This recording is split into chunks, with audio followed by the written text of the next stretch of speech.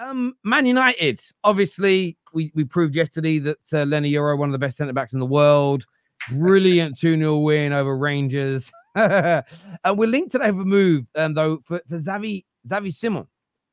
How good a signing do you boys think that would be for Man United to, to add that to our ranks this summer?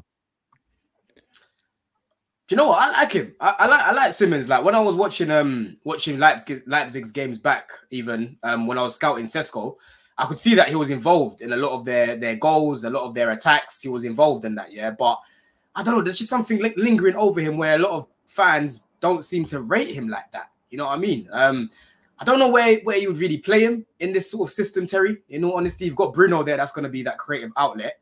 Um, but then again, he's worked under Ruud van Nistelrooy before, so I think it'll be a good option to have, whether that's in the squad, off the bench, starting certain games. I think it'll be a, he'll be a good signing because I, I like him. To be fair, I do like him.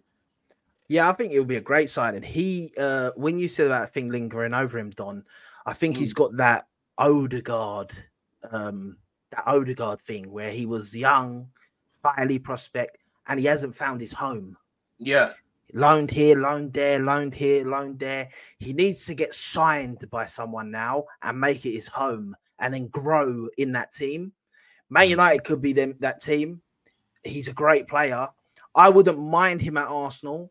The only thing is, we've got a youngster goes by the name of Nwaneri that I think they're very similar position wise, and I'd rather focus on Nwaneri. What's, what's, that other youngster? What's that, what's that other youngster? Was it? What's, what's that other youngster that's uh, quick you man for? Oh yeah, Skelly. Chido. Chido.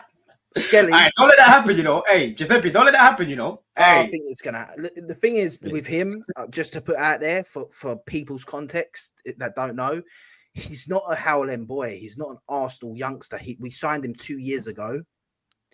Oh, okay, that one. Mm. No, no, no, no. no it's like, what I'm trying to say is, I would be gutted if he leaves. I'm going to say that. If he, definitely, definitely, if he goes to Man United, because he's got, they've got one over on us. Like you know how it is.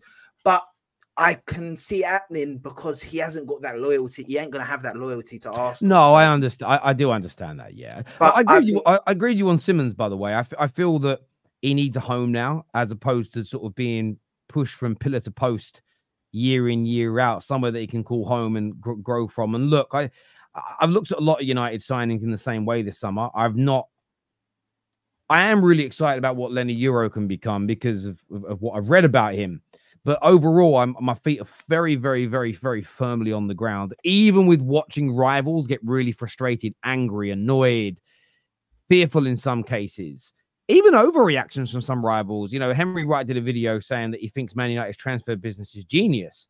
I get why he says that, but actually, it's not. You're just not used to seeing Man United doing it. So suddenly, it's yeah. almost like, oh, that, that You're doing the basics. You're doing the basics. Yeah, yeah, right? yeah, yeah. We're, we're doing the basics, and we seem to be doing them well. But we don't need to be complicated. When you have our budget, when you have our money, if you execute the plan well, it will generate success. It's as simple as that. And listening to what you guys all heard what Ten Hag said yesterday.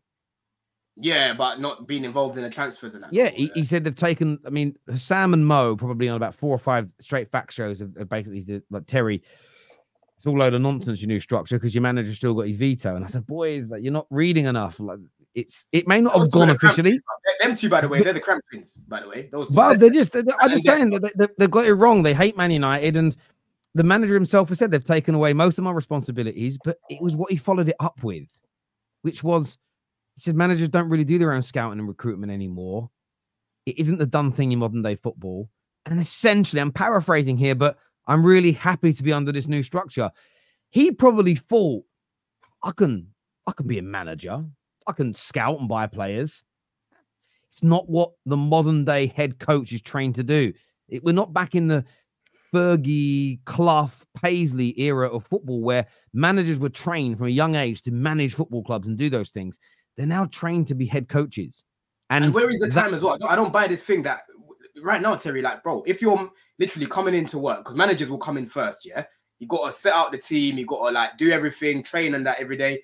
Where's the time to be doing all this scouting as a manager as well? You got to focus on the team. That's the main thing. You got to focus this, on first. This, this is it, and we saw little things, and I'm not even getting, I'm not getting carried away. I'm just enjoying watching rivals' reactions because we were trying to move the ball a lot faster yesterday, a lot more one touch and two touch football. And I was like, okay, cool.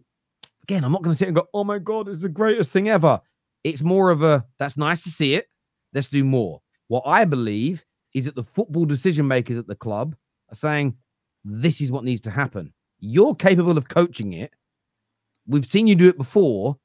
Start to make those improvements. I sometimes think, if you think about your professional careers, boys, sometimes if you're just left to your own devices and no one's giving you the right feedback, you could end up in a in a sort of rut that you didn't even realize you were you were digging for yourself in terms of doing the wrong things and making the mistakes. And it becomes like a vicious cycle. You need that help and support around you to make exactly. things flourish and get you to the top. So look, Man United have got a long, long way to go. And we we as Man United fans shouldn't be getting overly gassed. We equally should be encouraged, I think, by what, what by what's going on. And I look at some of these transfers.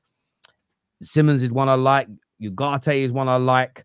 I love the link to Zubimendi. I hope that's true. Someone like him picking up the ball in that sort of, sort of six role would be absolutely amazing. Him feeding the ball into Mainoo and Bruno Fernandes just it fills me with a, a lot of hope of what our football could end up looking like. But it's these little subtle things I don't think rivals are going to get because it isn't their club. But when I read today what Fabrizio said, that essentially we've told uh, Fiorentina we are not going to trigger the 20 million euro terms that have been set but we will sit down and re- renegotiate new terms. It shows me that the Ashworth and Co, the Berradas are looking at the deals they've uh, got on paper and gone, the fuck is this? And I don't quite know what that looks like because we're not looking at the paperwork, but they basically said. I saw another thing as well that said about um the Br- Branthwaite thing. It said conditions like on their on Man United's conditions rather than the other way around. These, these are little things that you didn't have before, bro. You used to have no. clowns. It's like, yo, we want 50 million. All right, fuck it, take 80. you know what I'm saying? And, and this is the thing. And a lot of Man United fans have ignored this. And some of agendas. I also think some are young and they haven't experienced the real world as of yet. And you've got to do. How would you sort of? How much respect would you have for your boss if you could do it on personal settings, or say another organization that your company works with have taken the piss out of your firm with the deal and embarrassed your boss and made him look stupid on a regular basis, how are you as employees going to have the utmost respect for that individual when you've seen him get clowned, when you've seen him do, when you've seen him do stupid decisions that everybody's laughing at? Th- those people in the work environment, the corporate world, in the education world, everybody loses respect for them because yeah. you look bad our owners are buying 20 million pound players for 80 million. They're getting screwed over when it comes to terms. And that seeps into a dressing room, not wages sometimes directly. Wages, wages everything, everything kind of piles up. The, the even the playing staff, they turn up and see over 250 members of staff that are not needed at the club, earning a living, not making any money. Gyms a mess, offices are a mess, dirty stuff here, rust everywhere. It sends a message that we are not serious. And I think that all these small little things, mm. they may not mean much in isolation, but overall, they push you towards being a better run club that's going to gain more respect. And I think that everybody's standards will rise. So again, it's not just about Leny Yoro having a good passing range yesterday or you know, a couple of academy players looking good. Amad, by the way, looked brilliant. Really, really impressed with him and Sancho. What's that, what's that mid called that you don't have? Um, uh, Toby uh, Collyer. Yeah, yeah, yeah. I like him. He looks good. He look again really, really tasty. But it's a, it's a, it's a. I think it's everything at the moment looks great. Now we've got some bigger tests in preseason. We still need more signings, and we have to keep our feet so firmly on the ground because we are nowhere near, in my opinion, where we need to get back to. But I'm happy with the start, and I know the start has been good thus far because of the level of salt from some rival fans that I see on display. It reminds me of when Arsenal mm. started playing well. It reminds me, I've, I've been doing the football terrace now for a long time. I've seen every single one of, barring Man United, ironically, I've seen everybody's club go through periods of growth and quality. And I've seen the same reaction in the early phases I'm seeing now towards Man United. My only hope is that Man United can maintain it because if it falls away, we start getting beat earlier on in the season, it will go from salt to laughter. And if, if they really thought what we were doing was bad, we'd be getting laughed at right now. Instead, we're getting the anger towards us. So fingers crossed it can continue um, I mean, and, and, go from there. I think, I think, I think the main interesting thing for me, Terry, is just what Ten Hag's going to do now going forward. You know, because when obviously like the whole new structure came in, I could see Omar Berrada from Man City. You've got uh, what's his name, Dan Ashworth, and all these lot. Listen, these guys know what they're doing. You know what I'm saying? Their CV speaks for itself. So I always knew that Man United are not going to be doing the same old deals that they were doing before. Because, like, like you said before, bro, it was the Glazers hiring their friends that had no idea about football and just probably just watching a few videos on YouTube and then going in to pay 50 million for a guy that's worth 10 million.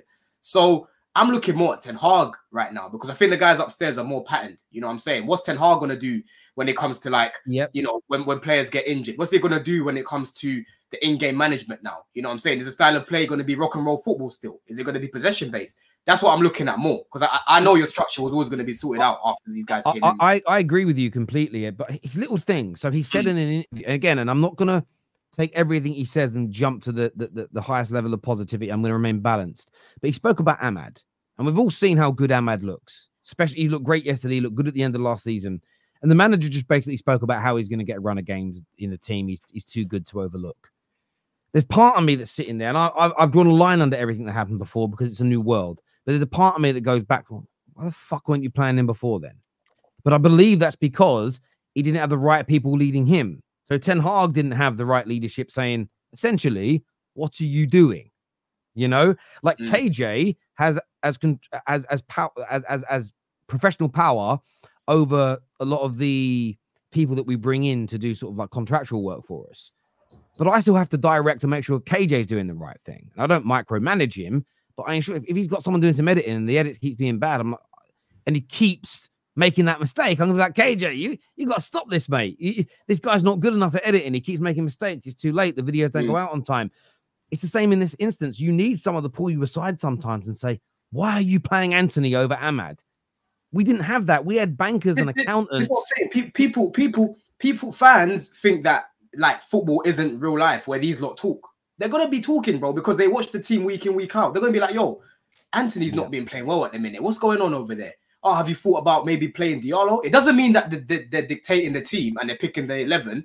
They're just suggesting things because they are football guys and they can clearly see that something's not working. You know what I'm saying? Yeah. You need you need people like that. Sorry, Sky. I, I hope that's an attempt. I, I, think, I, think, she meant, I think she meant to say. Uh, Sanjay, I know I know she is. Yeah, I think she meant to say the other way around. I, I, I hope so. Or, I think or, there's meant to be a knot. I think there's meant to be a better not. Yeah, I feel better not start ahead of Amad. Amad. Yeah, probably. I need Sky. You've got to clarify that for us. Uh, I know that you're. Maybe it's a yeah, typo. typo. Yeah, yeah, typo. typo. I was getting worried there. I was getting worried there. You know. You know. Um, yeah, like Terry. Like, like for me, like you know, like how um obviously with Chelsea, the owners and the sporting directors, they basically said we want to play possession style football. When we're building the team, this is what we visualized. It'll be a similar sort of thing as you. Like if he's constantly playing Antony and it's not working, they're gonna say, bro, this is not what we visualize. you know what I'm saying? You need to make sure you fix up. And, and, and if he doesn't fix up, you're gonna lose your job.